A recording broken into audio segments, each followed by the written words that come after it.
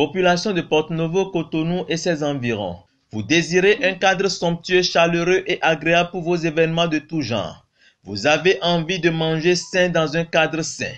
Vous soupirez après un espace adéquat où l'accueil et le service font bon ménage. Plus de soucis à vous faire. Un seul espace comble vos attentes. C'est bien le complexe hôtelier Quickly.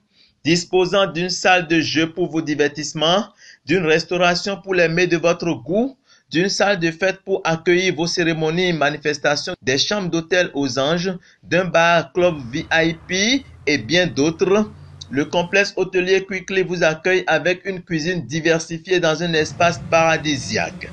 À Porte-Novo, nous sommes situés à Avakpa en face du CS La Rosette et à Cotonou, nous sommes à PK 10 rue Université Houdegbe.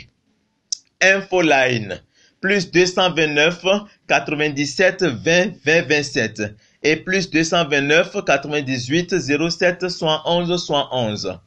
Faites-y un tour et vous n'y serez pas déçus. Votre satisfaction est notre priorité.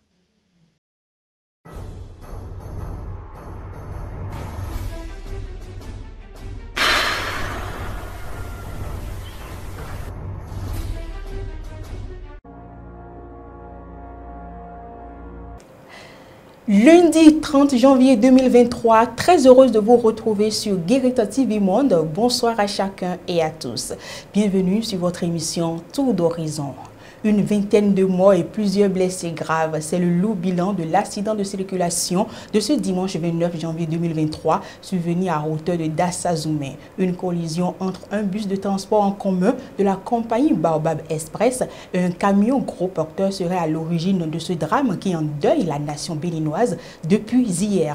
La rédaction de Guérita TV Monde, à travers une mini-revue de presse, revient sur le film de l'accident et les dispositions prises par le gouvernement pour soutenir les victimes. Selon les informations rapportées par le quotidien Fraternité, une vingtaine de morts, de blessés graves et d'importants dégâts matériels ont été enregistrés dans ce drame qui fait suite à une collision entre un bus de la compagnie Baobab Express et un camion gros porteur. Ces victimes sont toutes des passagers de ce bus de transport en commun.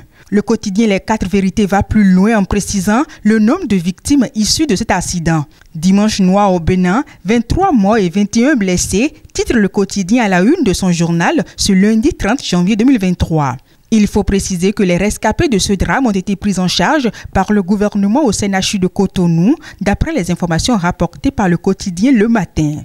Mais avant cette prise en charge immédiate, le chef de l'État, Patrice Talon, a dépêché plusieurs ministres de son gouvernement sur les lieux de l'accident et au chevet des rescapés en soins intensifs au centre hospitalier Kutukumaga de Cotonou afin de témoigner de son soutien aux familles des victimes. Le potentiel, quant à lui, salue la prompte réaction du gouvernement de Patrice Talon et précise que ce dernier promet que des mesures fortes seront prises pour pallier ces situations dramatiques. Il faut par ailleurs noter qu'au-delà du gouvernement, plusieurs acteurs politiques ont réagi face au drame et présenté leurs condoléances aux familles éplorées, renseignent les journaux qui ont fait cas de ce drame à la une de ce jour. Le leader des Web TV présente ses condoléances aux familles éplorées. Loin du drame à présent, la première session ordinaire de l'année 2023 du conseil municipal de la ville de Porte-Novo s'est ouverte ce lundi 30 janvier 2023 à la maison des jeunes de Porte-Novo. Ceci sous la houlette de la première autorité de la ville capitale, Charlemagne Nyankoti. Le point. C'est en présence des sages, des têtes couronnées, des chefs d'arrondissement et des conseillers municipaux que Charlemagne Nyankoti, maire de la ville de Porto Novo, a ouvert la première session ordinaire du conseil municipal. Après avoir rappelé toutes les réalisations et les travaux entrepris pour le rayonnement de la ville capitale, l'autorité communale précise les différents points à l'ordre du jour. Comme vous le savez, il sera question de la lecture et de l'amendement du compte rendu de la session budgétaire du Conseil municipal tenue les 11 et 14 novembre 2022, de la présentation et de l'adoption du rapport du Conseil de supervision suivi des rapports de la secrétaire exécutive d'octobre à décembre 2022 et enfin de la validation du plan de développement urbain durable de la ville de Porto-Nouveau. Après l'amendement du compte rendu de la session budgétaire, les élus municipaux, soucieux de la bonne gestion de la mairie, ont donné leur appréciation sur le rapport trimestriel du conseil de supervision ainsi que sur les rapports mensuels de la secrétaire exécutive de la période du 28 octobre au 31 décembre 2022. il faut retenir que les conseillers communaux ne sont pas du tout contents du rapport qui leur est présenté parce qu'ils euh, pensent qu'avec euh, la nouvelle réforme sur euh, l'administration territoriale, c'est seulement le conseil de supervision et la secrétaire exécutive qui dirige et gère toutes les activités de la commune et qui sont écartés de tout ce qui se passe au niveau de la commune. Et voilà, donc il y a eu un peu de, mécontentement. Au bout des échanges, le maire de la ville de Porto Novo a réussi à dissiper les doutes dans le cœur des élus municipaux sur le bon déroulement des travaux au sein du conseil de supervision et du secrétariat exécutif. Le rapport trimestriel du conseil de supervision, suivi des rapports mensuels de la secrétaire exécutive de la période du 28 octobre au 31 décembre 2022, ont été donc amendés à l'unanimité avec 28 voix, 2 procurations pour, 0 procuration contre et une abstention. La première session municipale, ouverte ce lundi 30 janvier 2023 à la Maison des Jeunes de Porto Novo, prend fin ce mardi 31 janvier 2023.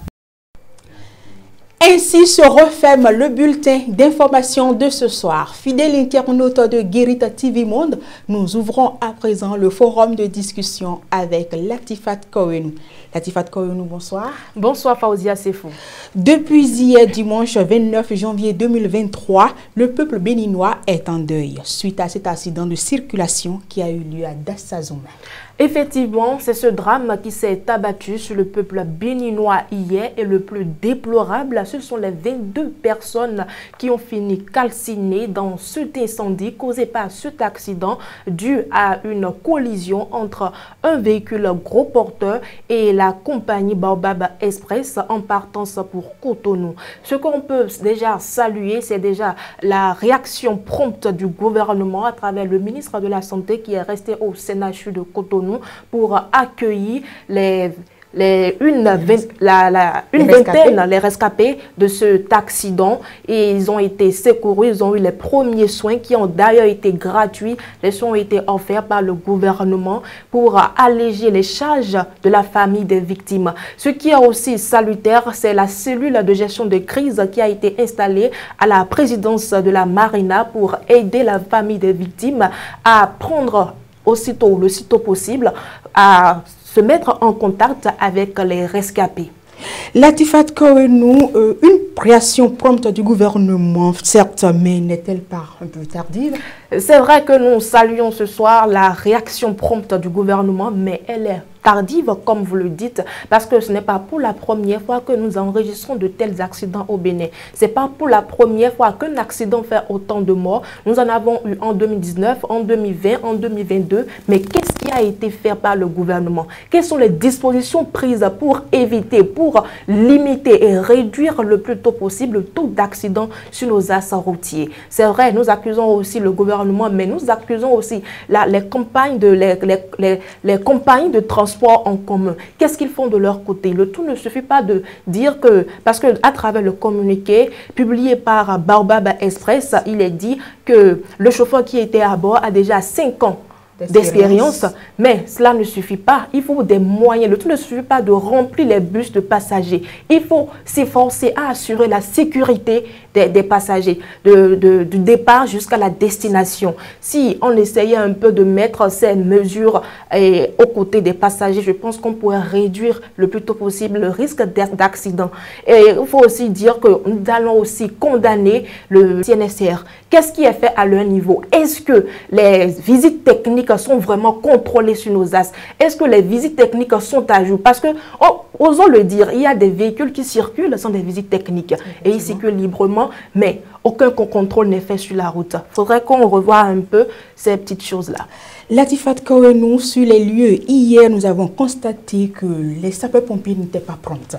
Exactement. On a remarqué qu'à Dassazoumen, nous est revenu que les, sapeurs-pompiers qui étaient à Dassazoumen, ne disposaient pas des équipements adéquats pour secourir le plus tôt possible les victimes. Et il a fallu qu'on appelle des sapeurs-pompiers de Savalou pour venir en rescousse aux victimes qui étaient à Dassazoumen.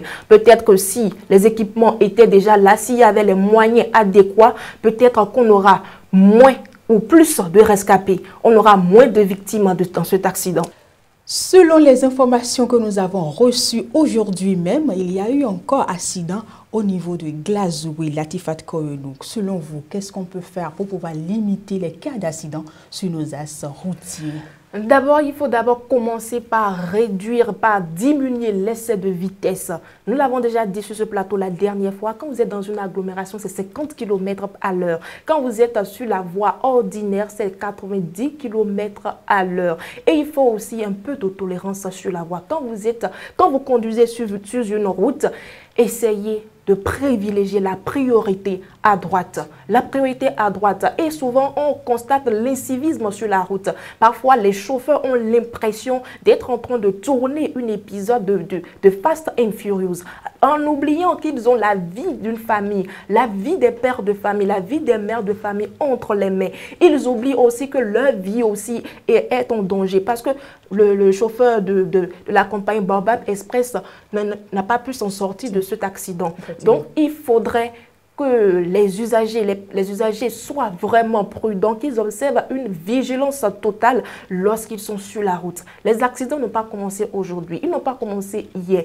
Donc, prudence. Prudence, nous avons tous des familles que nous avons laissées à la maison. Nous avons laissé des familles, nous avons laissé des familles à qui nous avons dit, je reviens, maïboa. Et c'est comme on le dit, mais ils ont des maïtadounon. Roulez doucement, c'est pour votre bien-être.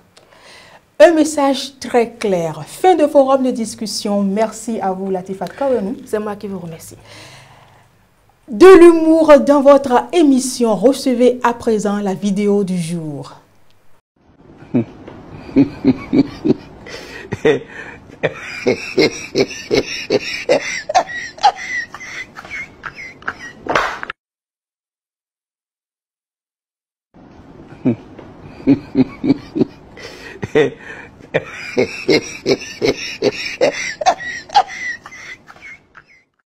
S'il y a une chose impardonnable, c'est de ne pas pardonner.